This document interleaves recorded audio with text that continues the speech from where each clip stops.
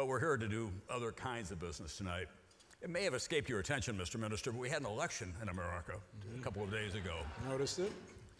And it was a greater upheaval than I think even the Republicans anticipated. They thought they were going to do well, but one of my friends in the United States Senate, who is a Republican and has a leadership position, I saw him a week before the election and I said, Where do you think you'll end up? And he said, Well, if we can get it to 52 48, I'll really be happy. It's much bigger than that. This is a convulsive election for us. I personally believe it's probably not ideological. I think it's a wave election in which people, I was telling the ambassador earlier, there's a famous phrase that a river guide uses in Montana when he has difficult clients. He says, they're half cocked in the ticked off position. He doesn't say ticked off, he uses another expression, but for the purpose of this, that's where our country is at the moment. They're ticked off. Mm-hmm. And if these guys don't get it done in the next two years, there'll be another wave election of some kind. The real question is the United States, the great engine for the Western economy. What's going to be the impact if you can describe it now or if you can foretell what it may be on the Canadian economy? They're already talking about doing more with energy, for example, lowering corporate taxes, so there'll probably be less inversion coming up. If you can, and this is a delicate time, I recognize that, how do you assess this election results and the impact it'll have on the Canadian economy? Well, I think the first point is to put uh, the, uh, the relationship in some perspective and then comment on how it, it, it might be affected. I mean, you, you talked about uh, the importance of the, uh, of the bilateral commercial relationship, which is uh, the largest by far in the entire world, uh, some $2 billion a, a, day in trade. You know, we, we sell more in one year uh, to the United States, $332 billion, uh, than we sell to the rest of the world in three years. Uh, we buy uh, more from the United States uh, than uh, you sell to Japan, China, and the UK. So this is a very important relationship, and it will continue to be important. Obviously, we don't um, get involved in, in commenting on, uh, on U.S. Uh, politics or, or, U.S. elections. We work with, uh, with the administration and with, uh, with the Congress uh, to advance our interests and to, to enhance and enrich the relationship, which is diplomatic, uh, cultural, people to people, and, and of course, commercial. so, um, you know, I, I um, I don't uh, look uh, at, the, at the election as necessarily, well, definitely not changing anything fundamental. Uh, there's a lot of speculation about uh, what might happen in respect to certain uh, particular files, and uh, one of those files obviously relates to the, to the energy sector. Um, I think the, the important, maybe I should just put this in, um, in a perspective from, from the Canadian context. Uh, you know, we're, we're blessed with enormous natural resources. Uh, we have, uh, we're number one in, in potash, number two in uranium production, number three in, in oil and, and gas. But on the energy side, uh, we have a strategic challenge, uh, which is uh, that we only have one customer. And that customer, the United States, has found vast amounts of shale gas and, and oil. And that, those discoveries uh, which will be of enormous benefit to the United States, is changing the global energy picture. Um, so we have to look at that and uh, clearly have to diversify our markets. We have to find new markets, and they're out there. Uh, and we're, we're going to be pursuing that. But in the meantime, of course, uh, the, the U.S. relationship is, is a critical one. And the United States, while it's found vast amounts of resources, will uh, over the next 20 or, or, so years still have to import a fairly substantial amount of oil. The estimates differ, but perhaps 7 million barrels a day. So uh, let me just put that in the context of, of Keystone, because that's the, the subject that a lot of people want to talk about. I thought I would answer it before, yeah. before you asked it. Um, you know, we, uh, we believe that the Keystone pipeline will be enormously beneficial uh, to both our countries. According to the U.S. State Department, it will create more than 40,000 construction jobs and other jobs over the long term. It'll add billions of dollars in, uh, in economic activity, um, and it will produce hundreds of millions of dollars in revenue to governments to support critical social programs. As well, it will enhance national security, because after all, uh, if Canadian oil displaces Venezuelan oil, uh, you're uh, going to be getting your oil from a reliable friend um, and partner who honors its contractual obligations and does not five times in a row threaten to cut you off. So we remain um, committed to the project, and we believe at the end of the day it will achieve, uh, it will achieve approval. We're hopeful uh, that that will happen. As I need not remind you, there's a whole other argument on the other side. First of all, the United States is moving swiftly to energy independence with fracking and the other sources of energy that they're developing. The question is do we need the Keystone Pipeline and the kind of oil that comes through it, which is unsettling a lot of people in the climate change community, including scientists? And could that have an impact on the relationship that is always so harmonious if it goes through and there's a huge body of people in America who say it's not our best interest, not just the people along the aquifer, but the people who are really concerned about the impact of those kinds of oil, uh, the sand oils that are going to come out of there that are contribute to global warming. Well, let, let me address that as, as, briefly as I can. The first point is that the U.S. State Department conducted uh, uh, many uh, environmental reviews. I think it was the most uh, studied uh, project, uh, energy project, perhaps in the entire world. And it concluded uh, that it, this project would not have a significant environmental impact. In fact, greenhouse gas emissions would be lower than the alternative, which is that we would export the oil to another country like China, or we would export the oil to the United States by, uh, by train. Uh, now, just to, to deal with the environmental uh, issue, the oil sands in total represent one one thousandth of global emissions. Emissions from coal-fired electricity in the United States are 33 times as much. So I think the, the focus of, of some of these environmental groups is misplaced. Uh, the, the, the issue of global warming is a serious one, but uh, the way to, to address it is to go after the big emitters and do it on a global basis. And so we're part of that, we're part of the, the solution, uh, but we don't see uh, this particular project, uh, which would have a minuscule impact, and according to your own State Department, um, would not have a negative impact. I don't think this is really uh, part of that, uh, that discussion. Nevertheless, it has been identified by people who are opposed to the development of hydrocarbons as a symbol. And as a symbol, it's become politicized and, you know, it's part of, of a base, uh, which, is, uh, which has, um, I would say, uh, created uh, an influence uh, politically. Two quick questions and we'll move on. Do you believe that global warming is real? And if you don't sell it to the United States, who would be your other customers? China? Yes, I, I do believe it's real. The issue is how do we best address it? And uh, clearly, one of the ways to address it is to focus on, on reducing the high emitting uh, sources of energy. Now, we're, uh, we're committed. Look, United States has become the biggest producer of oil and gas in the entire world. And therefore, I don't think, if I may say, the U.S. Is, should really is really in a position to tell us not to to develop our own, our own resources. And um, I think the U.S. understands that uh, if there's a market out there and we don't have any market in the United States, then uh, it's understandable that we would want to, uh, we would want to export our, our, our, energy elsewhere. Over the next 35 years, over 90% of global growth will come from non-OECD countries. And of course, with growth comes the need uh, and demand for energy. So the Asia Pacific area, China in particular, is obvious, India as well, uh, but, uh, but Japan and South Korea have, have tremendous energy needs.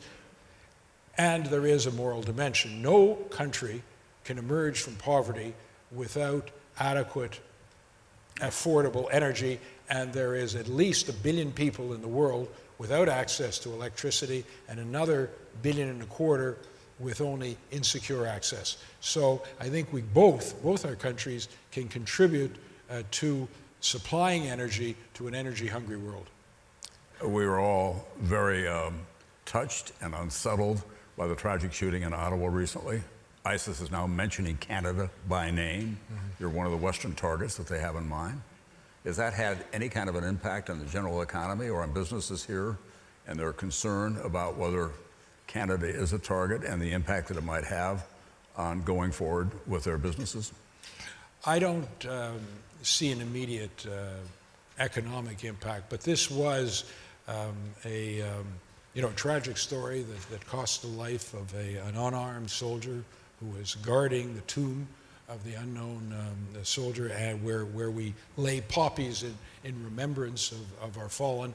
Um, and then uh, uh, the terrorists moved to Parliament building to, to uh, our institution of government uh, with mayhem in mind and, and probably an intent to, to murder uh, Canada's elected representatives. So this was a, uh, um, th this was a, a terrible event, but let no one misunderstand our resolve to deal with this issue. Um, we will protect our citizenry and we will co cooperate as an ally with the United States and others in dealing uh, with, with ISIS uh, where it has to happen.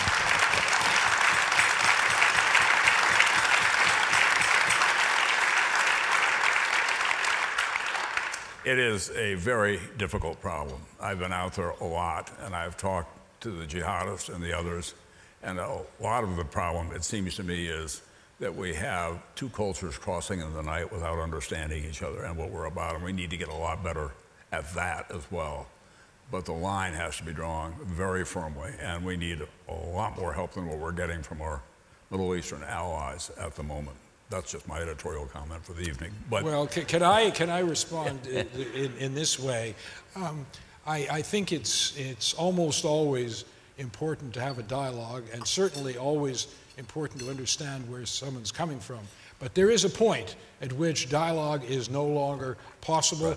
We saw that uh, with, with, with the Nazi threat, and what we're dealing with with, with ISIL, by all accounts, is, is a medieval barbarism um, that is expressing itself in, in the torture of children, the, the sexual enslavement of, of women, uh, of, of girls, and the murder of men and women. Uh, I don't see uh, where dialogue comes into that. No, uh, and, it's, that's why I think the line has to be drawn, and it has to be much stronger than it has been, and it has to be more urgent than it has been. Moving on. We have about the same unemployment rate. It's now at about 5.9% in your country using the methodology. Right. United States is that. Our middle class is very unhappy, and that drove a lot of the election results. Your middle class seems to be very content called the richest middle class in the world. What's the differential? Well, actually, our middle class isn't as content as they should be as the wealthiest, as the wealthiest middle class in the world. But I keep telling them that they're the wealthiest middle class in the world. Um, but um, uh, that's that's our issue. Uh, the the uh, so the question is is why? Now you know we have a number of important advantages. Look, we emerged, uh, you know, from this well the, the uh, international financial crisis and the Great Recession was the greatest recession since the Great Depression. It hit Canada uh, a little later than other countries. It affected us deeply, less deeply. We emerged from it a little more quickly and in relatively better shape. Part of the reason, perhaps, was were our natural resources. Another part of the reason was our solid banking system. No bank had to be bailed out. For the seventh year in a row, uh, the World Economic Forum has said that uh, Canada's banking system is the soundest uh, in the world. We've cut taxes by 180 times. The individual tax rates are now what they were 50 years ago. Um, we've got a AAA rating uh, um, with, a, with a stable outlook, the top rating in the world, the largest country to have that rating. We have lower, uh, lower corporate taxes. Apparently, according to KPMG, they're 46% lower uh, than the United States. We're not a tax haven, but we've brought our taxes down to attract and retain capital. So a lot is a lot of things are, are, are going well, but uh, we, we still need to do better. We've got to get some of the cash in, um, in, in, in corporate hands unlocked. Uh, it requires more confidence. We, we're, we're, we're pleased to see the American economy starting to move. It looks very sustainable. I can't comment on why your middle class is, is, is uh, less uh, content, but I, I, do think that um, our economy is doing, you know, uh, quite well, and um, we're going to continue um, next year when we achieve a budgetary surplus uh, to provide uh, further breaks for hardworking Canadian families. That 5.9% includes. That 5.9% is not an example of a throbbing economy because there are a lot of workers in that number who have much lesser jobs than they had before. And that, you know, we were the hope of the world in the 50s and 60s and 70s when people could get a good pair of hands and a strong pair of work boots a job on the line and be paid well. Those days are gone for a lot of them. Um, but let me ask you about something that probably is more relevant as well. American corporate taxes are going to come down. That's going to happen in the next couple of years. Mm-hmm. When that does happen, does Warren Buffett stay on his side of the border and not buy Tim Horton and other things on this side of the border? Well, you know, as I said, we've, we've positioned ourselves to have a competitive tax regime. And, you know, I, I can recall forever, uh, our personal taxes were higher than the US, and our corporate taxes were higher as well. And with a smaller uh, economy, uh, that uh, created disadvantage for, for our country. It was important to bring our tax rate down to perhaps a little bit less than the, than, than the US, uh, we have enormous uh, capital needs. We've been able to attract capital. I mean, after all, we're a stable democratic country. We honor our contractual obligations. Once, uh, once uh, foreign investment is approved, we do not discriminate against foreign companies. So the, tax, the fiscal regime is an important part of that. If other countries move their taxes lower, well, we'll have to see what an appropriate response is the uh, so-called millennial generation, which I've been paying a lot of attention to, not just because I have grandchildren who are about to come into it, but for other reasons as well, in America feel separated from our traditional institutions, beginning with the government, also large corporations. I think it's in part because many of them saw their parents lose their jobs or have to work two jobs during the Great Recession, lose their home, or get, uh, if not lose their homes, have to give up everything else that they had. Do you have that same kind of millennial distrust in this country about the economic institutions and governing institutions, and what does it say about the future? Well, I, I wouldn't say that it's, it's that acute because they, we didn't go through the, the downturn um, in, in quite the same way. We didn't see housing prices decline by 30%. We didn't see hundreds of thousands of people lose, lose their homes. Um, and we didn't see the, the extent of the, the, the unemployment. So that has moderated, uh, I think. Nevertheless, we are, uh, we are challenged by an unemployment rate amongst youth, which is higher certainly than we'd like, double the, uh, uh, uh approximately double the unemployment rate uh, for the population overall.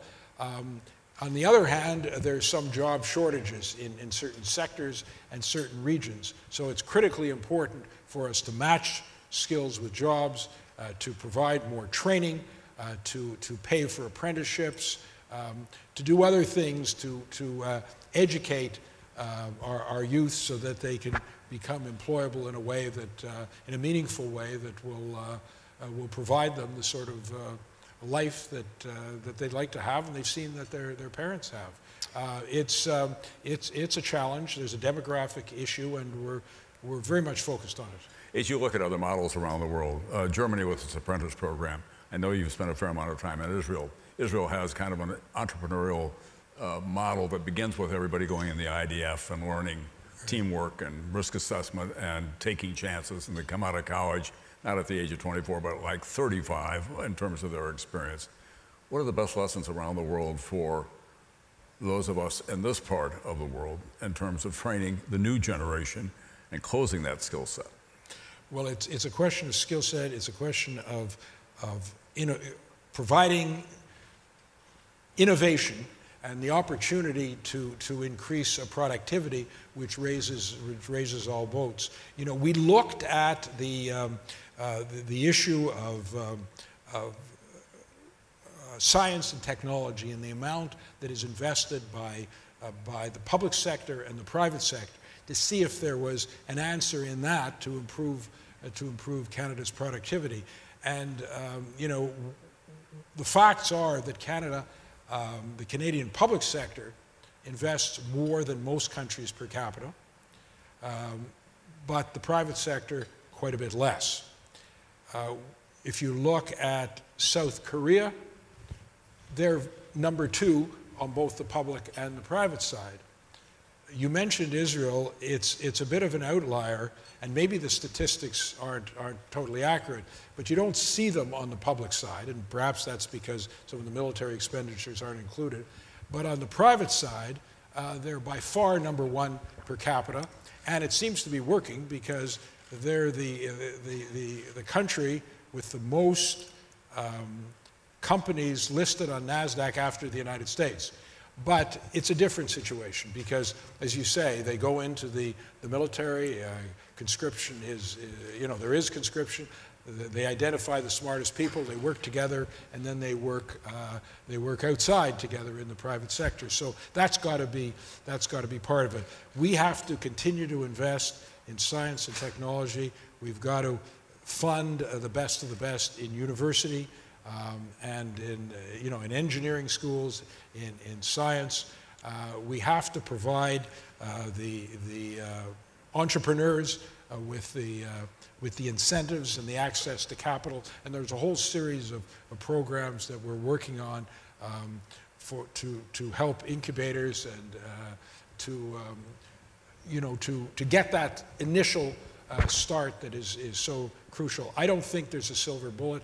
It requires a, a host of, of, of, government programs. We're working at it, and we're looking around the world uh, to, uh, to, you know, find the lessons uh, of successful countries to, to, make that, to make that work. It's a continuing challenge. You're a lifelong resident of Canada, citizen, an important position in the cabinet. You have the added advantage of a Harvard degree from the business school at Harvard. We have a lot of talk in America about the American dream. What's the Canadian dream? And is it still as relevant as it was when you were a young man?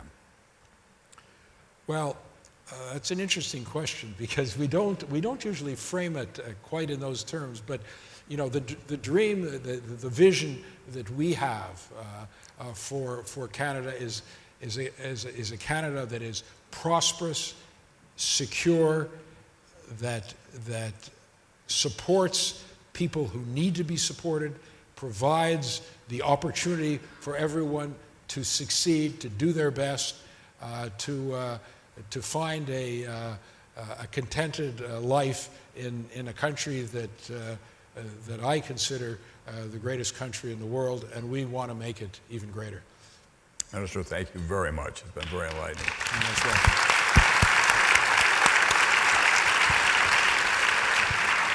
Very good. Thank you.